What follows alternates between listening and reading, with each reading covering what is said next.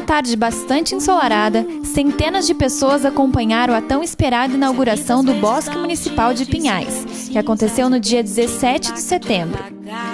Ao puxar a fita sobre o portal de entrada, o prefeito Luizão Goulart abriu o caminho para a comunidade conhecer o mais novo espaço de lazer e descontração da cidade.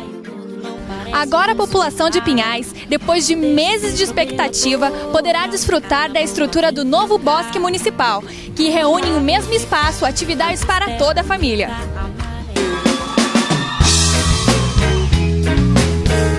O novo Bosque Municipal reúne numa área de 21 mil metros quadrados opções para toda a família. Tem academia ao ar livre para a terceira idade, parque infantil, sala ambiente, espelho d'água, praça Rosa dos Ventos, pista para passeio, praça de alimentação e estacionamento. Estou achando que o professor Luizão, prefeito, né, fez uma coisa muito boa para nós. Ele, Pinhais agora, a gente pode dizer que é a Pinhais, né? Não tem nem explicação. Eu estava esperando quantos dias, meu Deus. Que a gente ia fazer a caminhadinha em volta, né? Mas havia hora que a gente podia ter acesso dentro. E valeu a pena? Nossa, estou muito feliz.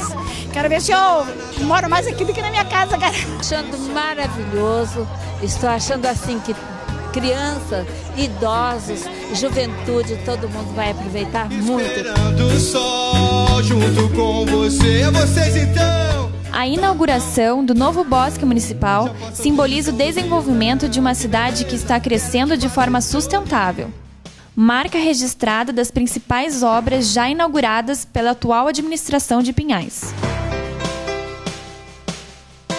A inauguração desse bosque tem um sentido de grande importância, porque é o primeiro bosque de Pinhais, a primeira área de lazer que a nossa cidade tem. Então é um espaço que a cidade merecia há muito tempo e neste, nesta oportunidade nós estamos tendo o prazer de poder oferecer para a população de Pinhais.